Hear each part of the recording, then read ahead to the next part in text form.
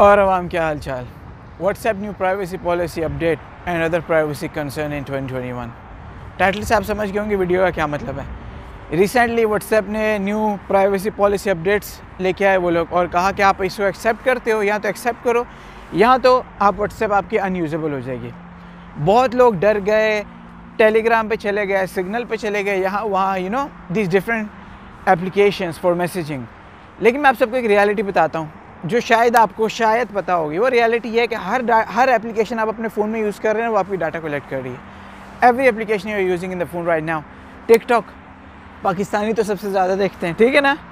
TikTok आपकी सारी data collect कर रही है। जाके आप सेटिंग्स में देख लें, फिर आती है, फिर कौन सी आती है? फेसबुक आती है। फेसबुक सारी डाटा कलेक्ट कर रही है इंस्टाग्राम यूट्यूब हर चीज़।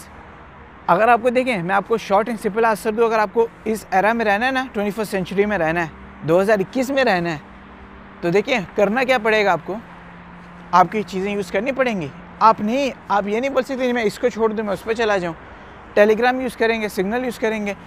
Maybe two three four years later वो भी आपकी डाटा सेल करने लग जाए आगे कंपनीज़ को। क्योंकि हर कंपनी को पैसा कमाना है। Every company has to make money अगर एप्लीकेशन फ्री है तो वो आपकी डाटा ही सेल करते हैं। वो आपको एड्स भेजते हैं। तो इसमें कोई पैनिक होने वाली बात नहीं है कि, यार नहीं, यार ये क्या हो गया? हमारी डाटा चली जाएगी, ये हो जाएगा, वो हो जाएगा। देखिए, मैं आपको एक बात बताता हूँ। डाटा आपकी अभी से नहीं जा रही डाटा आपकी बहुत पहले से जा रही है आपको पता नहीं है।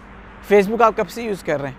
फेसबुक इंस्टाग्राम के साथ इंटरगेशन हुई है ना एक साथ अटैच हो गए ना, तब से आपकी डाटा दोनों एप्लीकेशन में शेयर हो रही। है व्हाट्सएप फेसबुक के पास चलेगी तब से डाटा शेयर हो रही। बस पब्लिकली उन्होंने कभी बताया नहीं।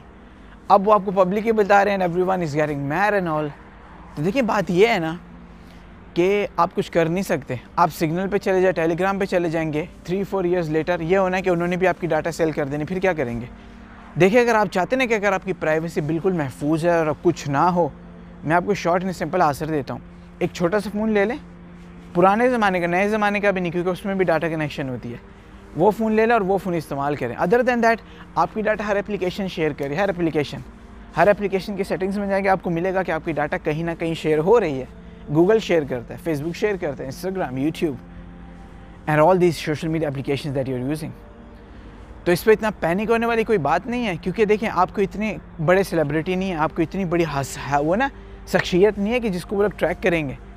These people they only track the people जो लोग बहुत ना हाई प्रोफ़ाइल लोग होते हैं, जो लोग एक्टर्स होते हैं, और ये सारे होते हैं ना, उनको ही ट्रैक करते हैं। उनको ट्रैक नहीं करते जैसे आप जैसे, हम जैसे छोटे मोटे लोग यू नो जिनको मतलब जो इतनी हाई प्रोफ़ाइल नहीं है नॉट नॉट नॉट रिच और एनीथिंग तो don't worry take a chill pill और टेंशन लेने की ज़रूरत नहीं है, क्योंकि हर एप्लीकेशन आपकी डाटा ट्रैक कर रही है। ऐसे करें फ़ोन को फॉर्मेट करें, उठा के, ये समुद्र दिखाएँ ज़रा।